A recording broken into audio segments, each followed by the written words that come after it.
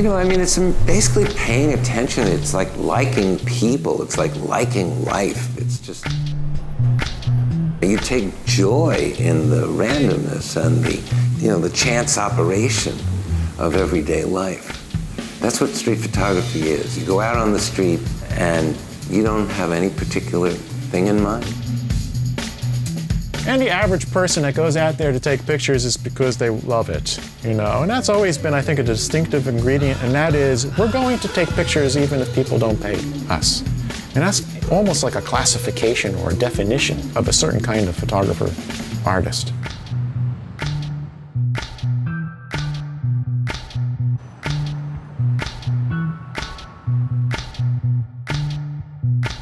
The voice is in you, but there's also the voice of the culture.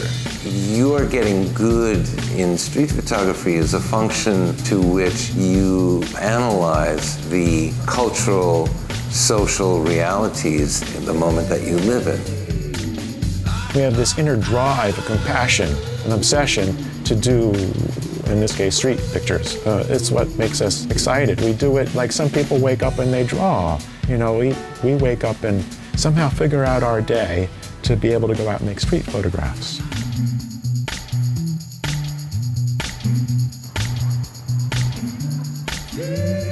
Photography is, is the shutter of a camera, freezes a moment. So the moment is not even the moment that most people see. You can't stop time, but a camera can stop time. So the camera is an extension of your sight, but you can't do what a camera does. You know, it freezes something. You don't see that way. Only cameras do that. So street photography is the art of the instant.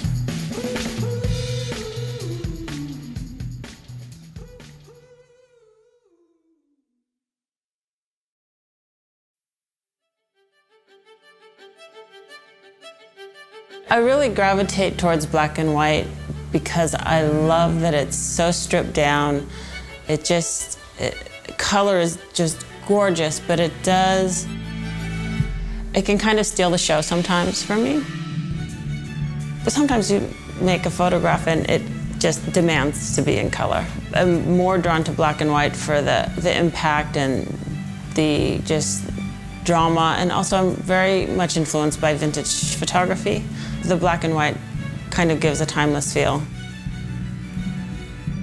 So before I started photography, I was a painter, and I went to school for fine art. And I always loved photography, but I was mostly focused on painting and drawing. I was really passionate about it and always was going to grow up and be an artist.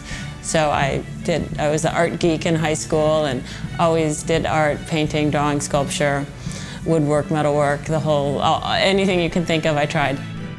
With painting, it's a, a, longer process and it's a very singular, kind of solitary process. You're alone and you're in a studio, in a room, you have your paint and your canvas, and it, it's kind of almost indulgent in a hermit kind of way, whereas photography, and especially street photography, you get to be out on the street, you get to walk, you get to breathe the air, you hear the sounds, you see the people, you're engaging, you're talking to people, and the results are much more immediate.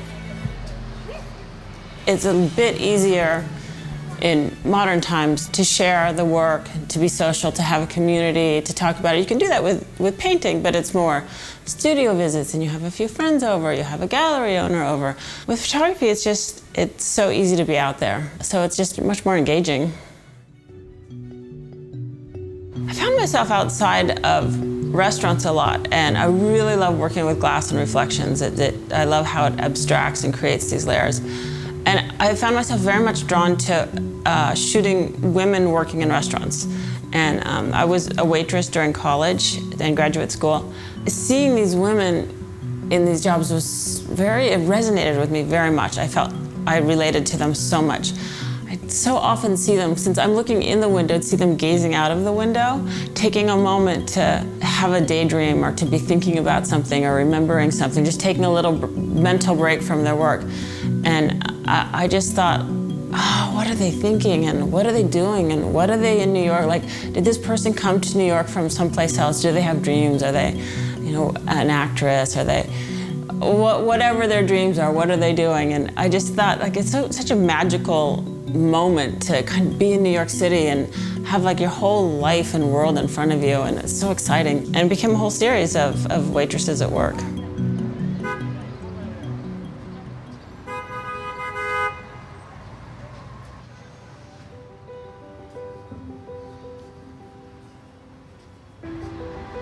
I love shooting in Grand Central Station. It's such a dynamic place. The architecture is so stunning. It's one of my probably three favorite big buildings in New York City.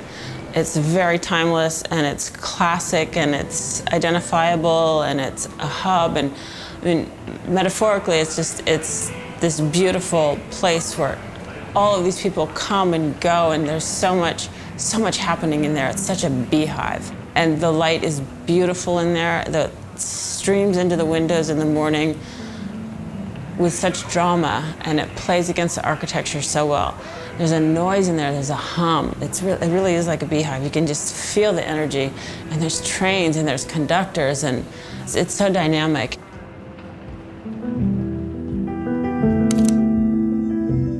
You know, when you take a photograph, it's this split second in time, and it's it's not really fiction or nonfiction. It's it's just this brief moment that could be anything, and anything could actually be happening. So to me, it's like this moment that you can capture, and from there, a whole other story can can happen, and there can be uh, as many stories can emerge from this one split second as people who view the photograph want to create.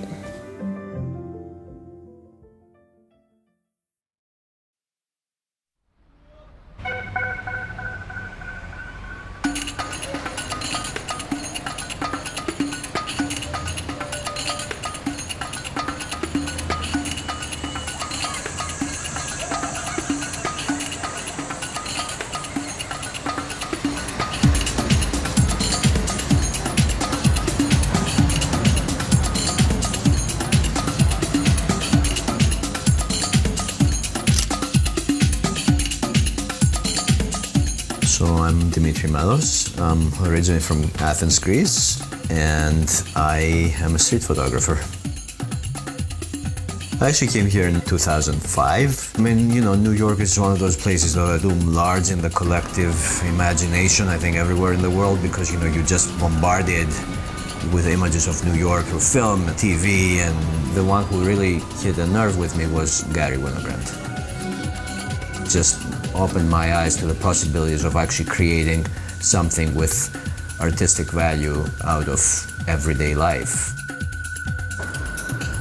I really wanted to come here and try to do street photography, but at the same time, you know, needed to find a more seemingly mature reason to come here. So, you know, I'd done some undergraduate work in psychology, and I, thought it might be a good uh, idea to come here to do PhD, which I did, but on some level that was the excuse to be here and do street photography. After I moved here, it took me almost a year and a half to actually start taking pictures, even though that had been my hidden agenda. Street photography for me is something that's emotionally very difficult and challenging to do. You know, it takes some kind of courage in a way to go out in the street and take photos of strangers. Part of the style I'm trying to pursue is something that balances form and content and contains both of those to make the photograph interesting. That's something that develops organically, partly because of the architecture of New York and the layout of the grid. I discovered deep blacks and shadows and like deep contrast between highlights and shadows just because of how the city works and how the uh, you have those areas of sunlight and you know next to that you might have like a patch of darkness.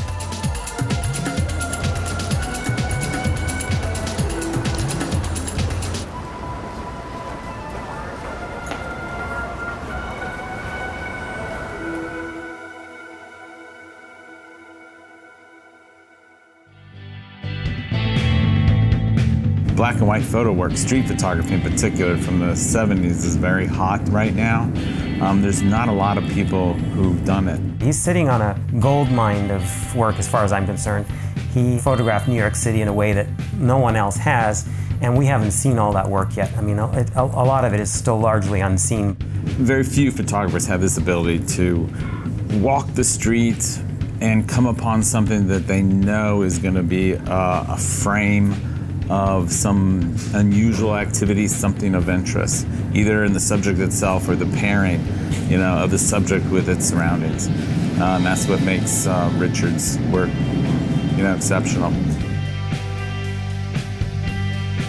Joel's work, one term that I apply to his work is that they're very athletic. That is to say, you can tell from the photograph that this person had an incredible kind of poise, an almost balletic ability to put himself in the place to get that picture. That things were moving very quickly on the street, and that he had the kind of coordination, physical coordination to begin with, as well as mental coordination to recognize that there's a picture there.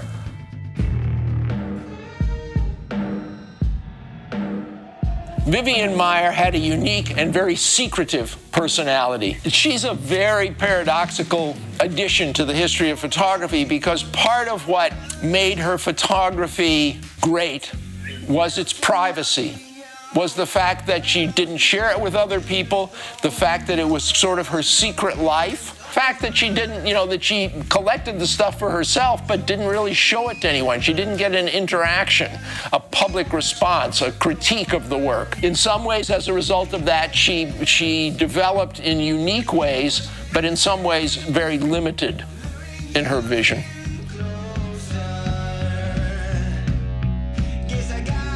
Probably the most important street photographer was Helen Levitt very, very important in the 30s and 40s.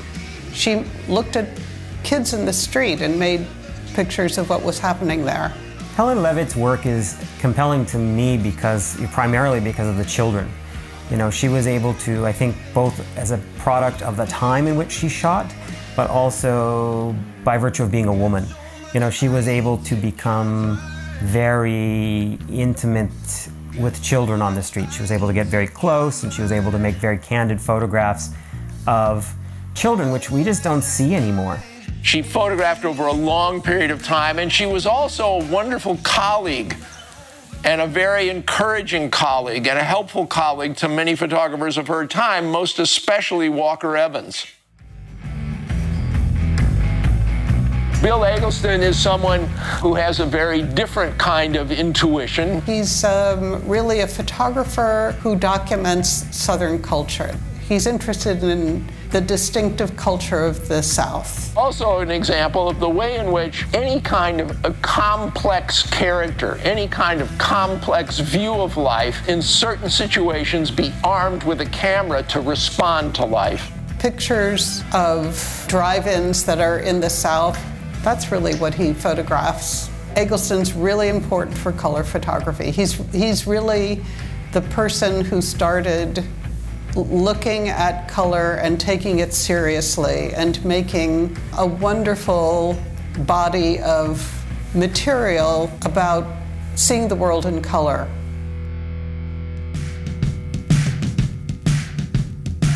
Truly great photographer like Alex Webb goes after something deliberate and then he waits for the chance element to enter, but he does it brilliantly. I mean, he knows exactly how to do it. And time and time again, it comes through in his frames to make incredibly compelling photographs. Another thing about Webb is that he is clearly a master when it comes to editing. Truly great photographer like Alex Webb might understand that you can go out for a weekend and not make any photographs that are ever going to be seen because it just didn't happen. To be able to have that kind of self control along with that keen sense, visual sense, to do your own editing so well. It involves a lot of detachment. You have to detach the emotion that you felt at the moment of making the photograph. But Alex Webb does that, and that's why he is, is a master photographer.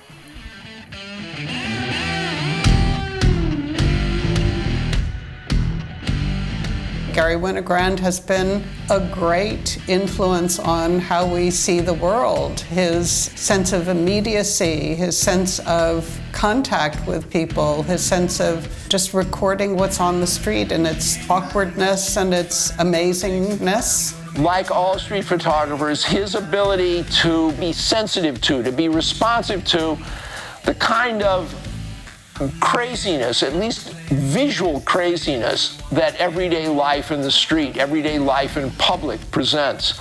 But the other thing about Winogrand was that he was very aggressive. That is to say, he, he had a personality that was very large. When he took a picture, often he, in the process of getting a candid scene, he disturbed the scene, I think, because of the fact that he was physically aggressive too. He's done maybe more than anyone else has done for a language of street photography that we now all share.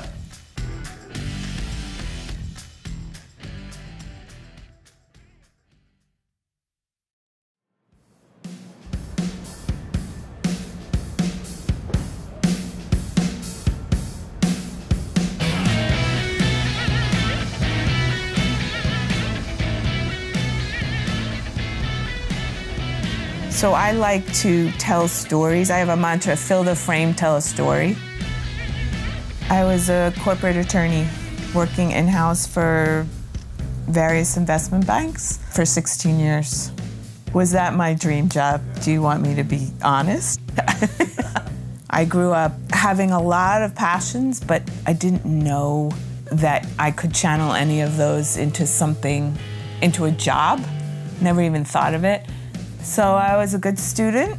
I had strong opinions. My teachers, my parents told me I'd be a good lawyer. And there was always the message, and you'll be secure financially. And that was something I was raised that that was important. So I decided to become a lawyer. I actually knew before when I was graduating college that I didn't want to go to law school, but I was too afraid to go travel, which is really what I wanted to do, and go live abroad. But I had no, I had no structure, and it was too scary for me. I didn't know that I was unhappy. I, I could like I couldn't read this language that parts of me were trying to communicate. I'm very good at just doing what I have to do, so I just did it there was this responsible side of me that was winning out. I did like certain aspects of it. I liked engaging with people. I liked, there was intellectual stimulation, but most of it was pretty banal and stressful um, because there was such an importance placed on certain things that I didn't think were that important. And I always knew something I was not completely satisfied. It was always about money. In corporate investment banking, that's really what it's about. I, my, my soul was kind of dimming. And when I realized it was at the last job I had, I could not get out of bed in the morning. That started getting me thinking, hmm, maybe this isn't, this really isn't, isn't right. I always had dreams about finding ways to travel, finding ways to do something creative, but I didn't focus on them. I just thought they'll just happen because focusing on them would have made it, I think, made me realize how unhappy I was. And I didn't want to deal with that. Uh, sometimes when you focus on what you want and you don't have it, it feels worse than just kind of keeping it to the side that's when I went traveling for six months and said to myself, I am not going back to doing law. So let me take six months, travel, and I'll I'll figure it out then. I figured if I'm gonna travel, I want to take pictures. So maybe it's a good idea to learn how to take photos properly instead of putting the camera on automatic. So I took a crash course in photography before I left. That was the planted seed. That was the beginning.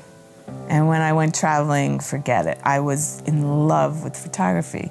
And it's easy when you're abroad, everything's new and fresh. So I was photographing constantly.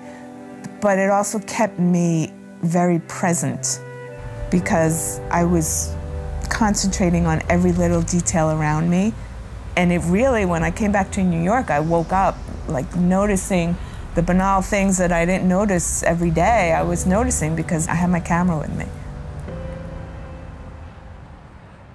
So, I mean, these are two faces and they're so distinctly different. um, and that's Coney Island. Everybody goes here. So I loved that for that. Uh, I just love this whole gesture. You know, boy, like talking to mommy. And I thought it had a, a nice energy. This is one of those scenes where you don't know what's going on, but there's so much going on. And it doesn't give doesn't tell you everything but to me there's just there's a lot of energy in this photo my coney island series started in 2013 it started out as just a place for me to go and then i was getting pictures that i really liked so i kept going back but they were street photographs they had nothing to do with coney island they were separate photographs and then I started seeing it as a project because it was one place. So it became my Coney Island project. And then I thought, well, everybody does Coney Island, so how could this be a project? I got some of my best photos the first day. I think I got four or five photos that are still in this project that will always be in this project. And to get that many in one day is, is kind of crazy. I mean, if I get one good photo every few months now, it's it's great. Anywhere, not even just Coney Island. I went there with a completely open mind. I went there not thinking I was going to find anything because of all of that before me. I mean, I just I, I needed to get away. I was really in a funk. And I love the beach, so I needed to get away. And that's just brought my camera as praying maybe I'll find something, but I didn't think I would. So I had no agenda, zero, which made it, that's what helped me. And that's what made probably why I loved it so much because I found something so unexpectedly. And with street photography, there's a lot of hunting where you're just, your brain turns on, you get hyper alert. You're always looking for the next shot or the next scene. And I do that sometimes, but sometimes I just like to enjoy my walk and just zone out.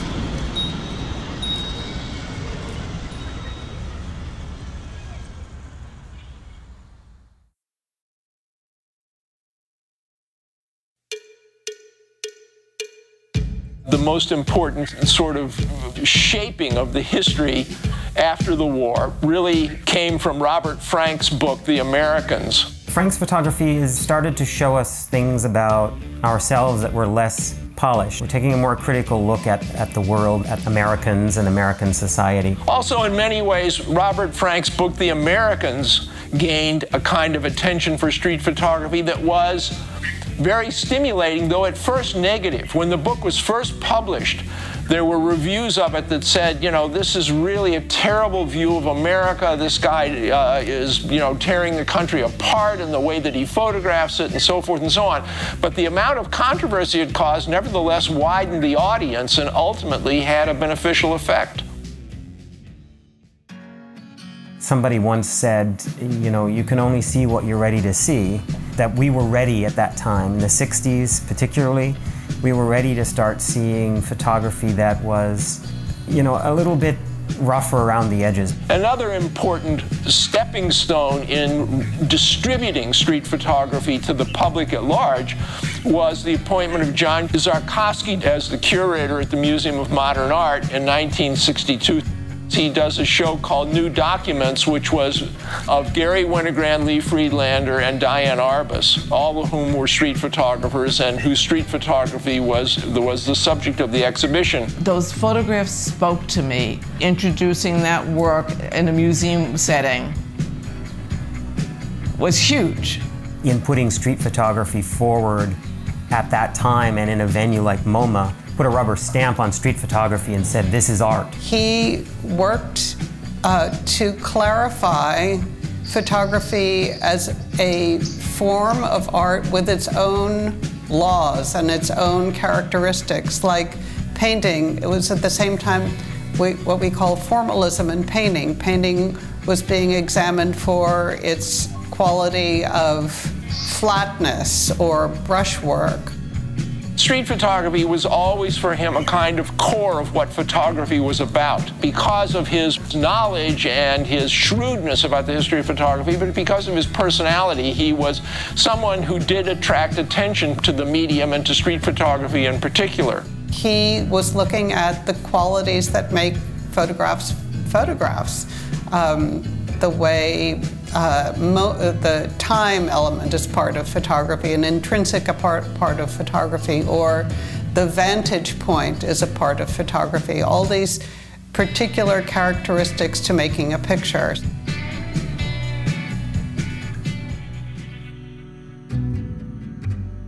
You could see that photographic history had moved on beyond the things that interested him. Postmodernism never interested him, but it was being uh, shown in various museums uh, and was attracting a lot of attention in the press, partly because it was something that was developing the aesthetics not just of photography, but of painting and of architecture. Architecture is really where theories of postmodernism began. Street photography's moment of of silence in the in the 90s simply because Szarkowski retired. But again it's more of, of, a confluence of events. It's a shift in consciousness in in society.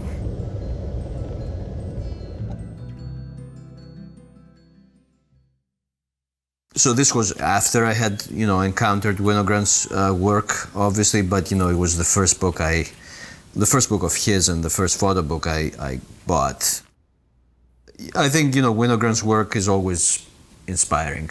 I'm not gonna say I look at this book every week or every month, but you know whenever I do, it's like um, I'm so familiar with his photos, and then they, you know, each time, you know, they pack such a, a punch. Still, I mean, they're just powerful.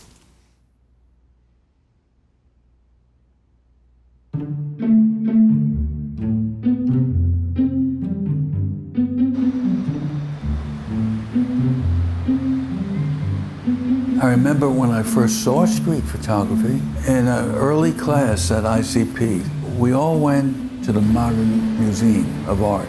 Garry Winogrand's pictures were pointed out. And they were in the midst of all these beautiful landscapes and portraits. And I thought, what the fuck is he doing here?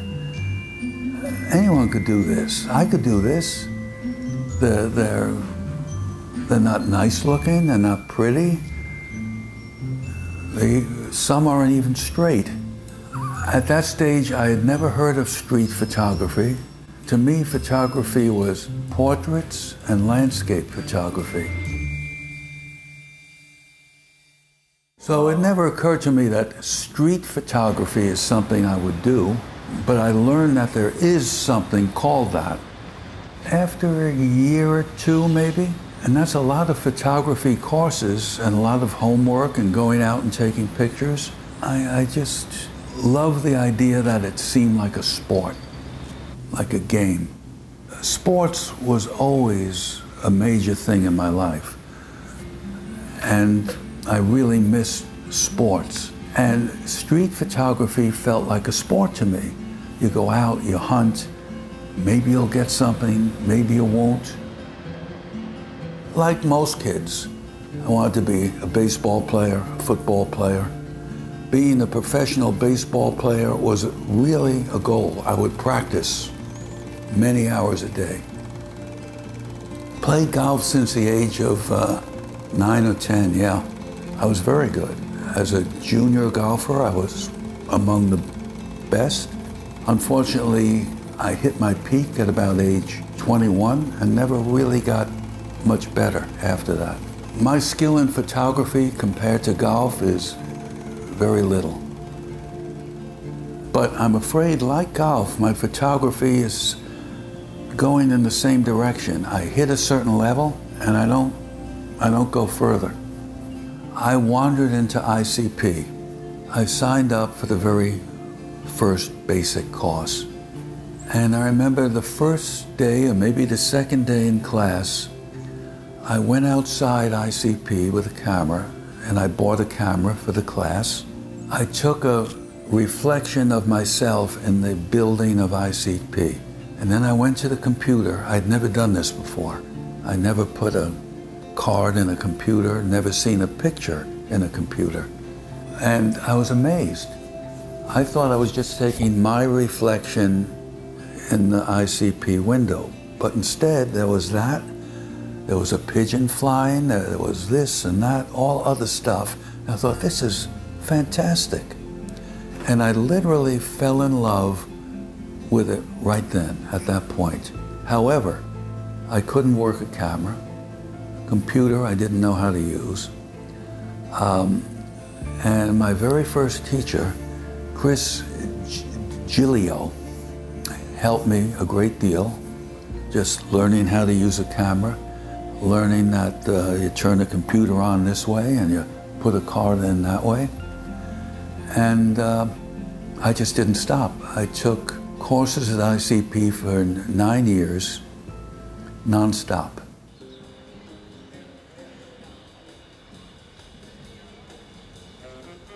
It's a rare example when people linger on the street. In New York, very few people hang out.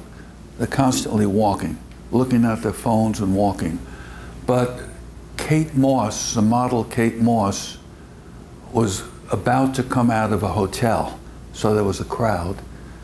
I just turned around and took a picture of the crowd, and I like it because it's a lot of people and they each have their own space.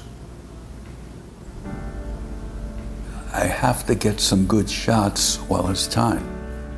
I don't have years. So every time I go out, I'm hoping to find something good. But I go out with the intention of shooting and nothing else, I'd say a good five times every week easy for me to look at people. I can find them a block away. I see them. I mean, I see the right person. But I think visually it's very difficult for me to look at a, look and see a complex scene. I think that's a different way of seeing. Boy, if I could do that, get multiple things going on someone here, someone there, bird flying by. Uh, that's what I wanted. And built into that goal is failure for two reasons. My fallback position is, oh, there's an interesting person on the street. I'm going to get that picture. And I become good at that. So that's my fallback. I, I was very proud that I can get really close, closer than anybody and without people knowing it, take their picture. Or even if they do know it, take it and move on. At some point, it hit home this isn't what I really want to do. This is what I'm getting to be good at. But what I really want to do is have street scenes where multiple things are going on at the same time foreground, middle ground, background. And I think seeing Alex Webb's pictures, from a certain point on, I, I went out trying to do that. And of course, I can never do it. I've gotten into a lot of shows. I've even won a few things. And to give that up is hard. Now, I don't have to give it up. I could do both. But I do think I have to force myself to at least temporarily stop taking pictures of individual people.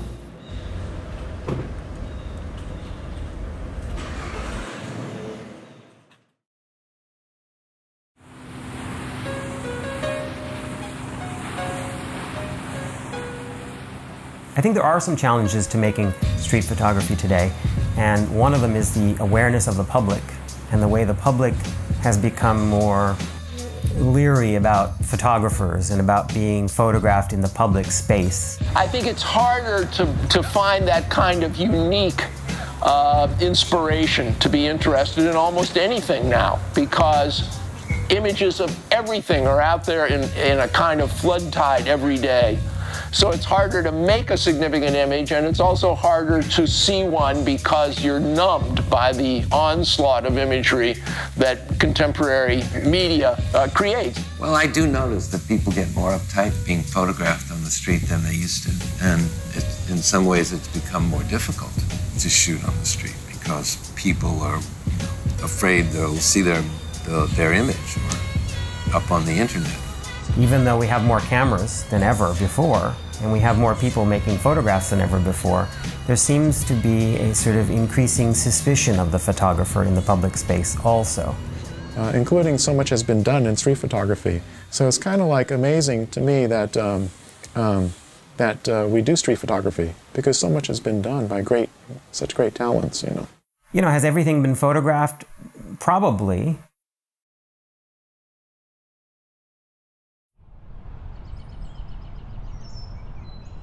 Everything's been done, but not by me. I've met so many street photographers out on my favorite corners in the city. The vast majority, I think, who are young enough to be my children. Would I have liked to start it younger? Yes, but then I wouldn't have had all the experiences that I've had in my life, which I think who we are and the experiences we've had in our lives are what drive how we notice and react to things. So my experience raising my own children and seeing my young grandchildren informs how I respond to this or that child on the street or how parents are holding their hands or it's my life experience brings me to a place where my own life and things that I've experienced can can become those triggers that make me notice something in that moment. Someone who hasn't that, had that experience might not be triggered or tripped by that little thing going on over here.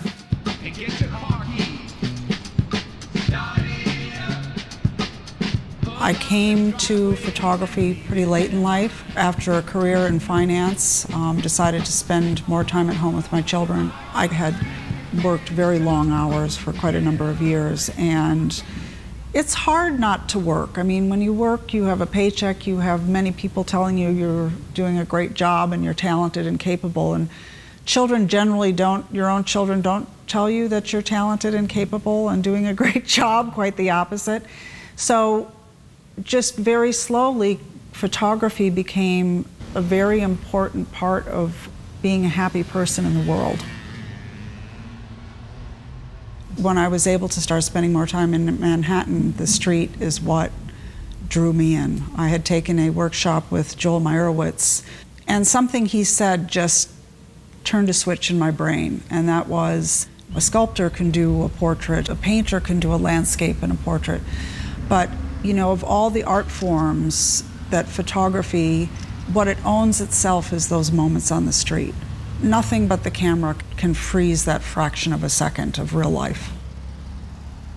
I'm an introverted person. I was very shy at first out on the streets, and it literally took me a couple years to take pictures without people noticing me and start to get the rhythm of the street to get to the point where I could create of something create something that interested me and it's an ongoing process.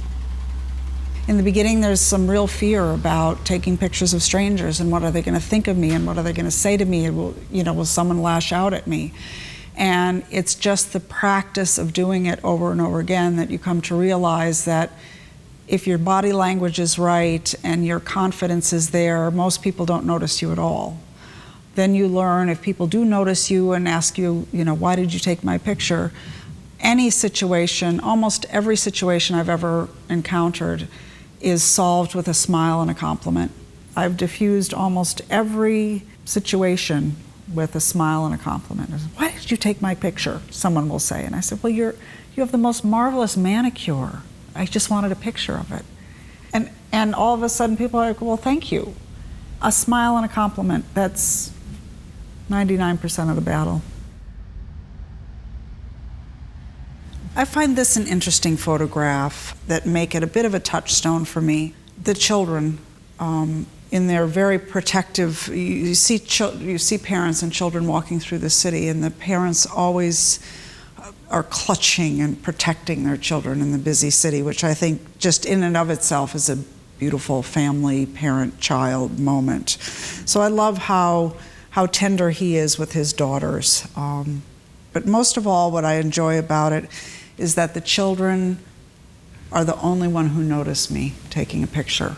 And that's always a reminder for me to remain, to keep that childlike wonder about the world. Try to notice everything around you. For many street photographers, pictures are harmed if there's eye contact, if the, if the subject notices the street photographer.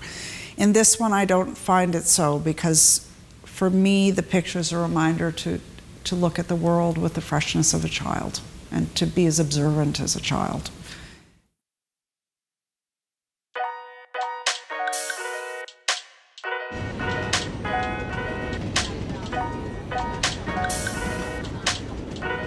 I'm Matthias Wasik. I'm a photographer originally from Germany.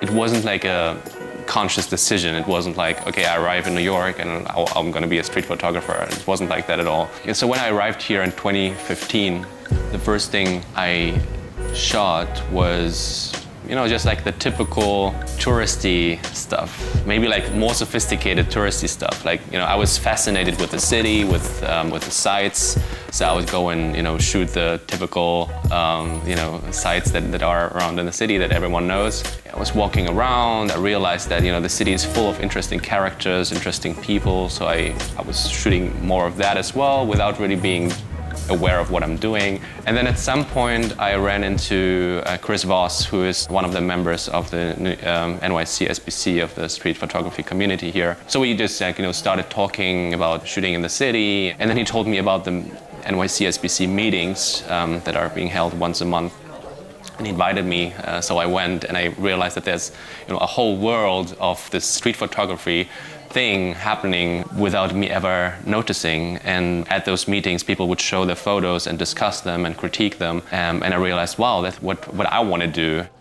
I originally perceived the city as the subject as you know the subject of my of my work of what I wanted to, to to shoot and then I realized that the city and its buildings its streets are actually just the backdrop to um, the theater of life in the city, right? Like the, the, the people, their emotions, all those, all those weird scenes that are happening in, in the streets of New York every day.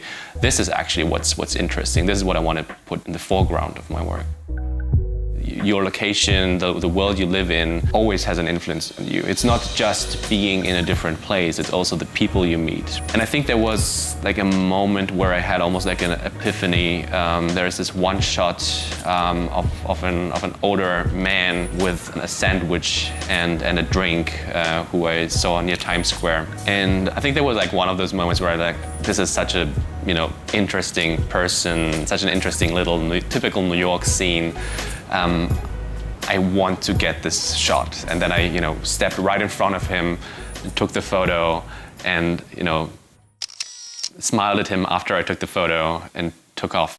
And I was, I think I was so happy with that shot, with that specific portrait, that I realized, okay, I, I can do this, and I want to do more of this.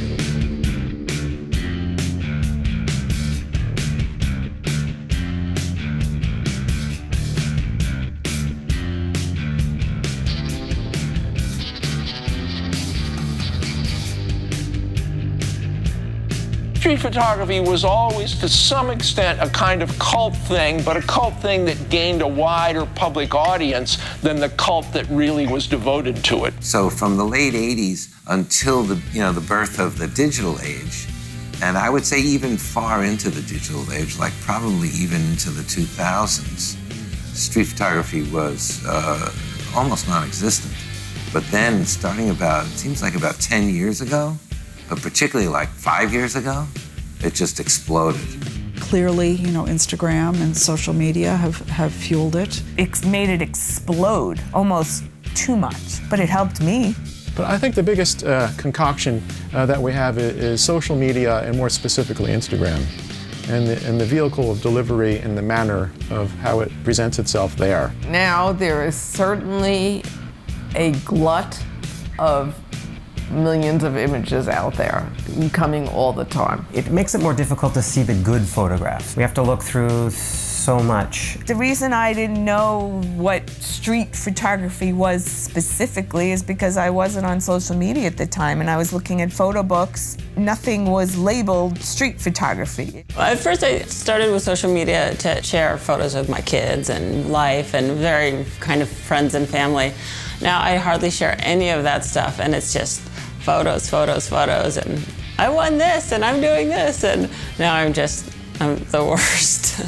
And then when I got on social media, I started seeing all my friends who photographed, they're on this street site and this, and I started joining them, those sites, and seeing all of this photography. So, but, but that's also how I started learning and getting better. Social media changes everything because some people really want that instantaneous fame and then they're posting five or ten shots a day on Instagram and, and, and they're posting everything.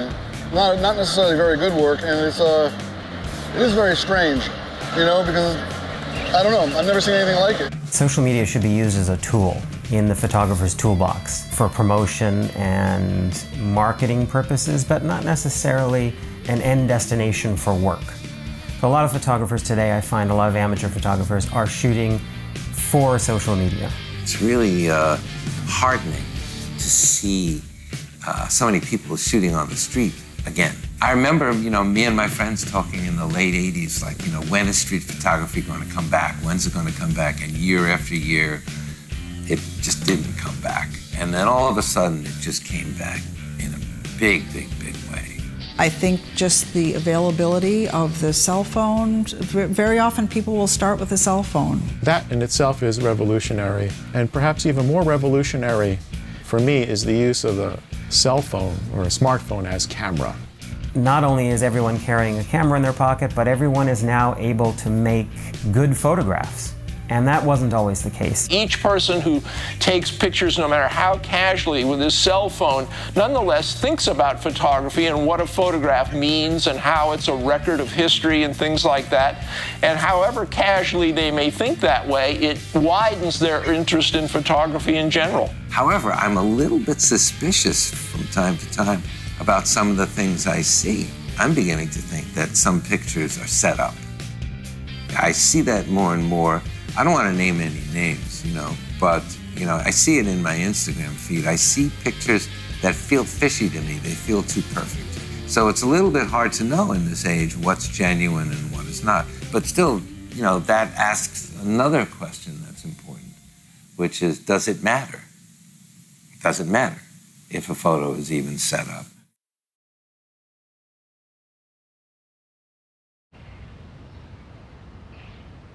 The number one trolling comment all over social media and sometimes in person is this is bullshit, this is a posed photograph. He's lying. I get it all the time. I love it now. At first, oh my gosh, at first when I was so I was so insecure and I thought my career was over when people were saying that. Um, but I love it now. This photo right here, this is probably what really kick-started everything, what really lit the fire under my career. It won the um, World Street Photography Awards 2015 prize, which is the cover. I've sold so many prints of it, so this is probably the predominant reason that we are here today. But um, when this happened with his blue camera, her, his positioning, and I knew right away, my gut was telling me that this was the one, and then I wrapped that scene and moved on.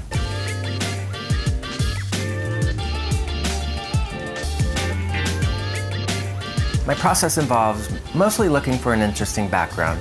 Uh, I'd like a bigger element. I don't like text. I want bold color and geometry. So that's the stuff I'm predominantly looking for, whether it's an advertisement or street art or whatever. I always have my radar up for that. After I find these elements that I get a good feeling for, I return to the spot. So I usually return every afternoon I can for up to the longest I've ever gone is for four months. It's for a photo called Wall Street, where a, a dude in a business suit has a rope coming out of his head. That took four months. I was almost done with it before that happened, but I'm glad I stuck through it. The number one thing that keeps me from getting a shot that I like is the busyness of New York sidewalks. I will be ready to take the best shot ever, and suddenly a person on a bike just right there, and it's gone. That happens most of the time, where a person walking through, that kind of stuff throws me off all the time. That's the major reason that I don't get a shot of light. Yes, Mama. Have a good pride.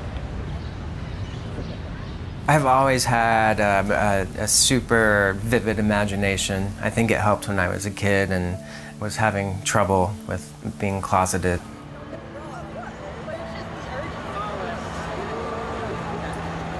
I took lots of Polaroid pictures. I was really into Polaroids when I was a kid. Um, but then adolescence, when I uh, started to understand that I was gay and um, dealt with coming out to friends and family and the 80s and the Bible Belt, that was kind of a, a shit show. So I think that's kind of when I started fantasizing and dreaming about moving to New York or moving to other places um, just to get by through day to day school stuff. Oh, I see something I want to move toward.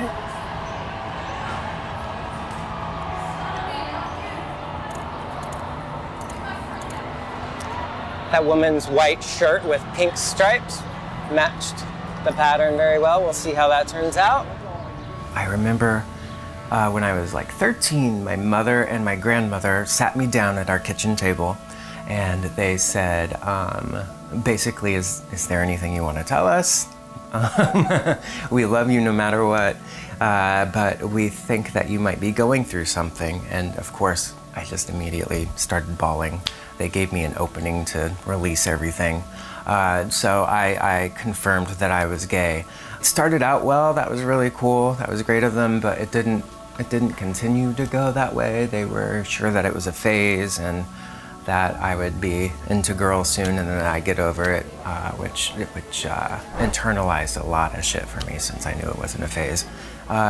It was tough, man. So um, I only, I never knew any gay people except for um, the ones on TV, and they were always in, in the 80s, like on Geraldo, they were all, always the ones who were suffering from AIDS or cross dressers, you know, always that kind of stuff. Uh, so that was really my only exposure to gay people.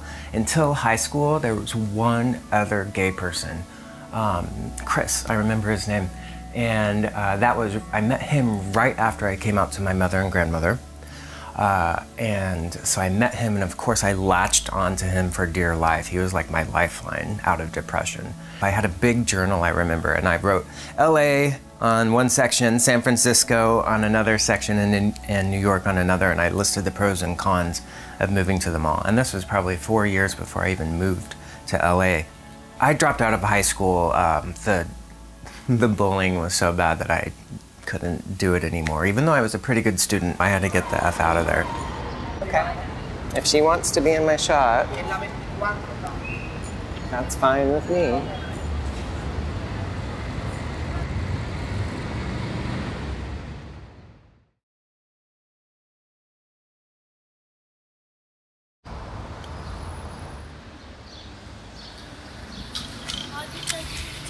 We're just taking pictures around the neighborhood. Do you live here? Yeah. Uh, no, I live here. I live up the street. Yeah.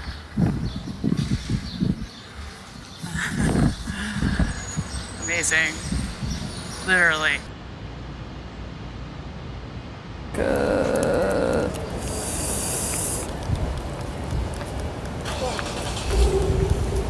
Yeah, I like sharp, sharp light. Um, but this is good. I mean, overcast is also good.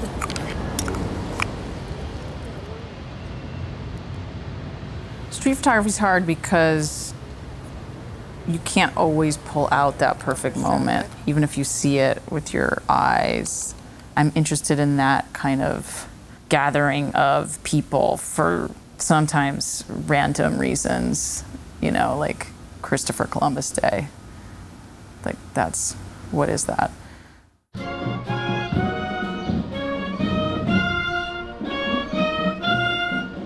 but everybody's out and they're wearing their outfits and the flags and I love the movement and uh, sort of like watching people play out tradition or sort of like well like every 4th of July we eat this and we go here. I love that kind of idea of cultural traditions and how they play out, what they look like. Um, so yeah, photographing those kinds of events is, is great for me because it's a real like display of what people in this country do or what they place value on or or what like society says is important and like what we should celebrate and what we should eat and wear and all that. I think that's fascinating. I'm lucky to be able to make money with my camera. So, because I, I wasn't always able to do that.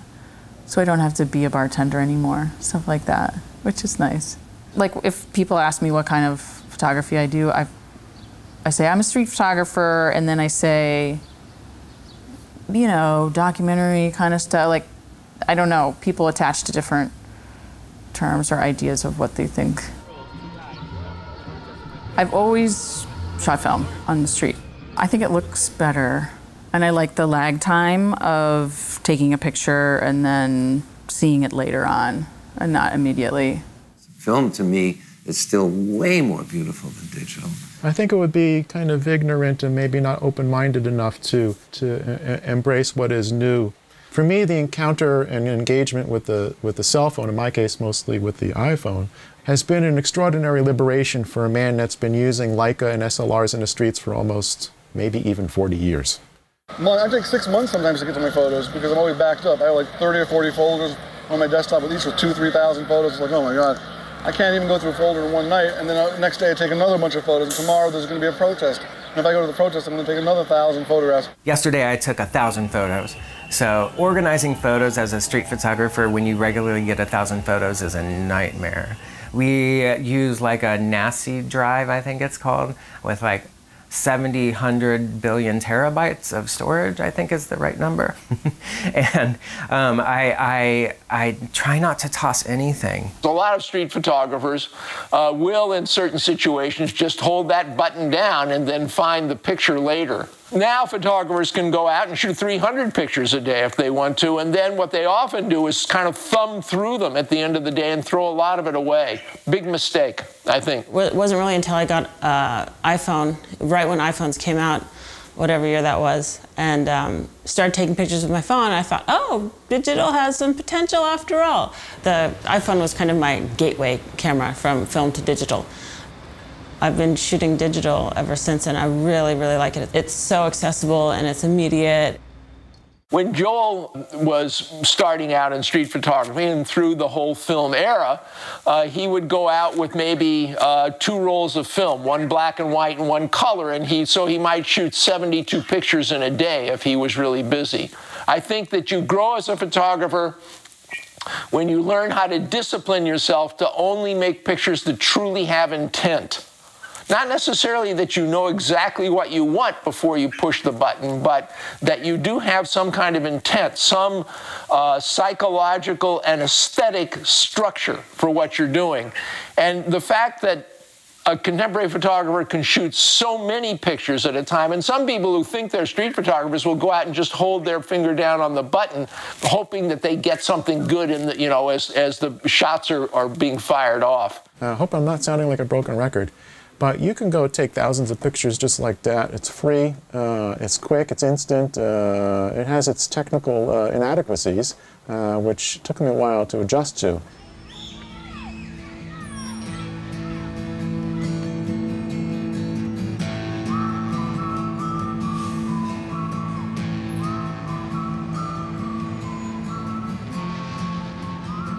Street photography is connection. Sort of photography is an extension of that curiosity into how a different society or culture works and or doesn't, how it's dysfunctional.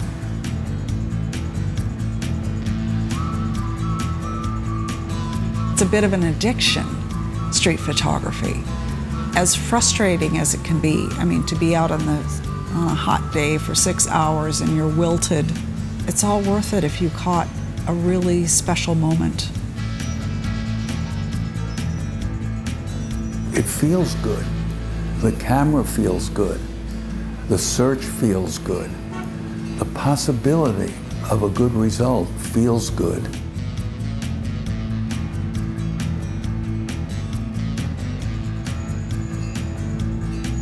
As a commodity in the art market, historical street photography has some traction, but it doesn't as a contemporary art form.